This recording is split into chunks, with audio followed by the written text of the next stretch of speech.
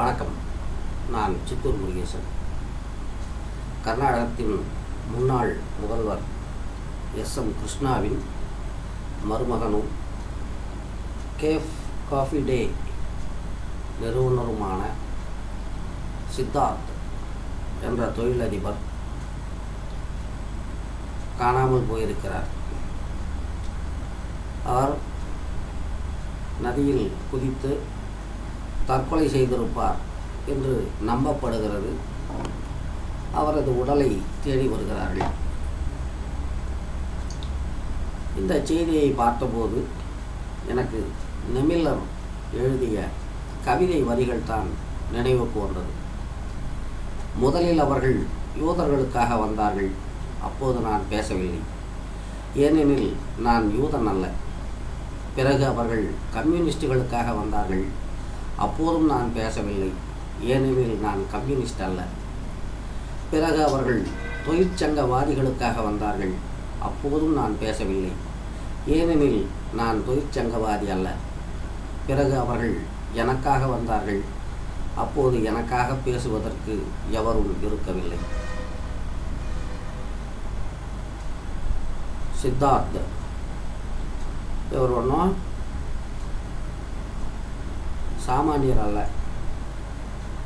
அரசியல் பின்னணி இருக்குது இவருடைய மாமனார் ஒரு முன்னாள் முதல்வர். இன்னும் சொல்ல போனால் சமீபத்தில் மத்தியில் ஆட்சியில் இருக்கக்கூடிய பாஜகவில் சேர்ந்த ஒரு பிரபலம். அந்த சித்தார்த்துக்கு என்னெல்லாம் நடந்தது? இவர் வந்து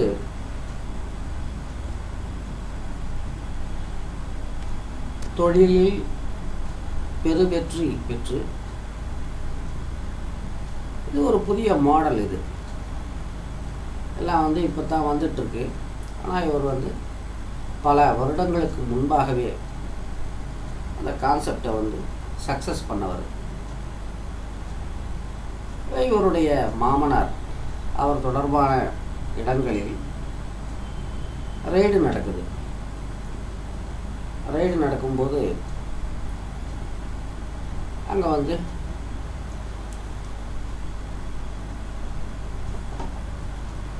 கணக்கில் வராத பணம் அது இதெல்லாம் பிடிக்கிறாங்க. வெரி குட் சித்தார்த் வந்து இதெல்லாம் என்னுடைய பணம் தான் அப்படின்னு கிளைம் பண்ணுறாரு இன்கம் டேக்ஸ் கட்டுறதுக்கு ப்ரிப்பேர்டாக இருக்கார். இங்கே வந்து இவர் வருமான வரியாக கட்ட வேண்டிய தொகை அறுநூற்றி இருபத்தஞ்சி கோடி ரூபாய். இவர் மைண்ட் ஷேர்ஸ் வாங்கி வச்சுருக்காரு. அந்த ஷேர்ஸை வந்து எல்என்டிக்கு விற்கிறார் முந்நூறு கோடி ரூபா லாபத்துக்கு விற்கிறார் இந்த மைண்ட் ட்ரீ ஷேர்ஸ் இதை வந்து ஒரு நோட்டீஸ் கூட கொடுக்காம சீஸ் பண்ணுறானுங்க இப்போ வந்து என்னடா ஆகும்னா இவர் வந்து இப்போ தான் விற்றுருக்காரு ஷேர்ஸு அப்போ அந்த வாங்கினவன் என்ன பண்ணுவான்?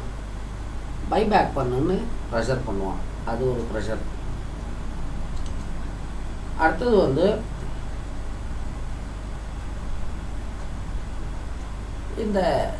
சித்தார்த் என்பவர் வந்து உலகம் மாறிக்கிட்டே இருக்கு. ட்ரெண்டு மாறிக்கிட்டே இருக்கும். இவருடைய அந்த கேஃப் காஃபி டே இந்த நிறுவனத்துக்கு வந்து மூணாயிரத்தி இரநூத்தி முப்பத்தெட்டு கோடி ரூபா கடன். இந்த கடனை சமாளிக்கணும். அதுக்காகத்தான் அவர் வந்து அந்த மைண்ட்ரீஸ் ஷேர்ஸை விற்கிறாரு அதை சீஸ் பண்ணி அதில் வில்லங்கத்தை உருவாக்குறானுங்க. அதுக்கப்புறம் வந்து அதுக்கு மேலே வந்து அப்பிலேட் அத்தாரிட்டி இருப்பாங்க இல்லையா? அங்கே இங்கே போய் அல்லாடி அந்த ஷேர்ஸை வந்து ரிலீஸ் பண்ணுறானுங்க உடனே வந்து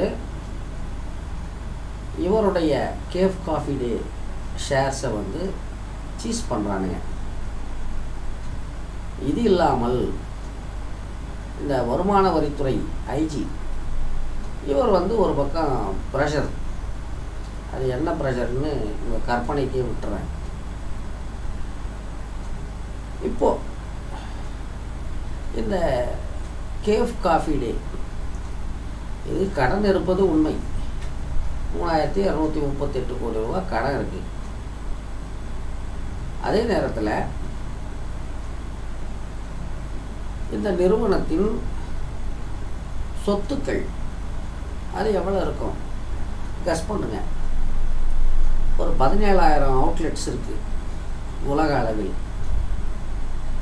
ஆஃப்டர் ஆல் ஒரு அறுநூற்றி இருபத்தஞ்சி கோடி ரூபா வருமான வரி பாக்கிக்காக இவர் தன்னுடைய நிறுவனத்தை கடனில் இருந்து மீட்க அந்த மைண்ட்ரி ஷேர்ஸை பத்து கோடி ரூபா லாபத்துக்கு விற்கிறார் மன்னிக்கணும் முந்நூறு கோடி ரூபா. அந்த ஷேர்ஸ் மேலே வில்லங்கத்தை கொண்டு வந்து ஒரு தொழிலதிபர். வந்து சித்தார்த் அப்படிங்கிறவர் வந்து ஒரு தனிநபர் இல்லை. அந்த ஒரு தொழிலதிபரின் தொழில்களால் எத்தனை ஆயிரம் பேர் தொழிலாளிகள் வாழ்ந்துக்கிட்டு இருந்திருப்பாங்க யோசனை பண்ணுங்க. இப்போ இவர் வந்து காணாமல் போயிட்டாரா? தற்கொலை பண்ணிக்கிட்டாரா? இன்னும் டிக்ளேர் ஆகலை.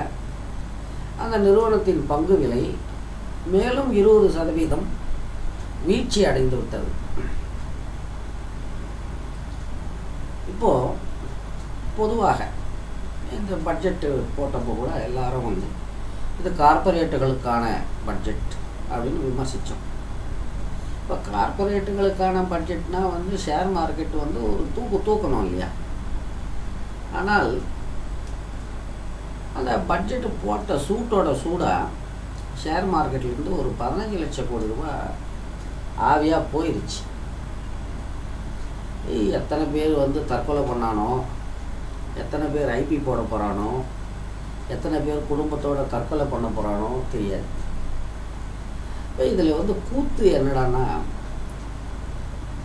நம்ம ஊர்கா மாமி பட்ஜெட்டு போடும்போது ஏதோ ஒரு பாட்டெல்லாம் படிக்குது.